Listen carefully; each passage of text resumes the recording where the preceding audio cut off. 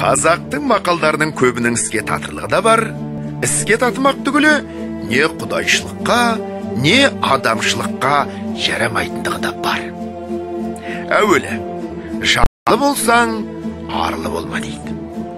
Ардан кеткен соң тірі болып жүргенің құрсын егер онысы жалға жүргеніңде жаныңды қинап еңбекпен малтап деген сөз болса ол ар кететұғын іс емес.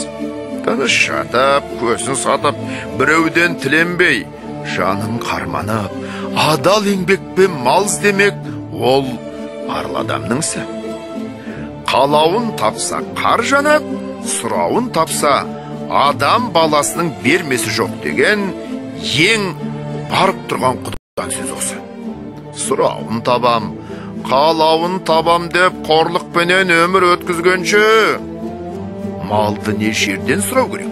Не аққан терден сұрау керек қой. Атың шықпаса жер өрте дейді. Жер өртеп шығарған аттың несі мұрат? Жүз күн атам болғанша бір күн бура бол дейді. Тәңірге жазып мінбей түспей арып шөмеңдеп диуаналықпен бір күн болған буралық неге жарайды?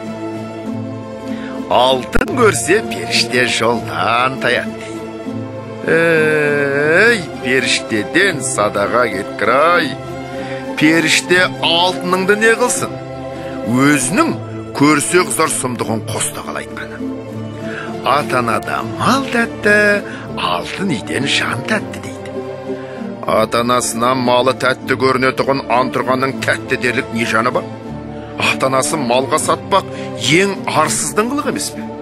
Ата ана шамасы келсе михнаттанып мал жиса да дүниелік жиса да артымда балаларыма ұрпағыма қалсын дейді.